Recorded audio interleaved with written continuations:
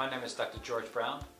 Welcome to Bless You Allergy and Asthma. We combine intellectual excellence and a friendly atmosphere and a listening heart together to solve your allergy problems. So we try to show our open heart by when you first walk in the door, our front desk has no sliding glass windows there. We think that sliding glass windows simply show a closed heart and not a welcoming atmosphere. So we want to show a welcoming atmosphere.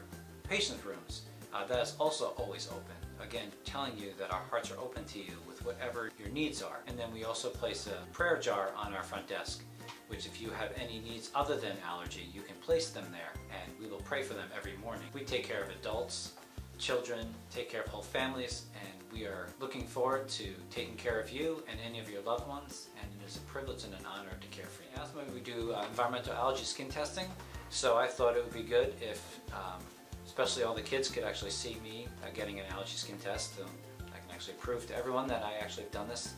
So I'm going to explain to you what exactly happens so that when you come, you already know what we're doing. So the first part we're going to do is we're going to put the histamine and the negative control on, and those are two skin pricks, and that takes about uh, 10 minutes. And then we come with the rest of the test.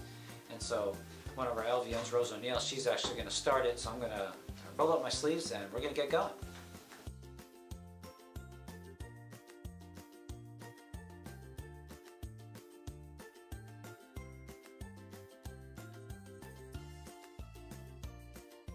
Now they'll sit there for about 8 to 10 minutes and then they'll come in and make sure the histamine works. I look up and there's a hole in the upstairs and I'm like looking around and there's like monkeys over here and then all of a sudden I look over and I'm like, there's the big one. So in every reaction we'll have a wheal which is the bump in the middle, is a little bit lighter color. And then there's the flare, which is the redness around it. And we measure both.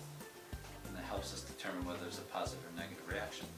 We solve problems like allergic rhinitis, asthma, eczema, food allergies, hives, immune deficiencies, contact dermatitis, and other various allergic diseases.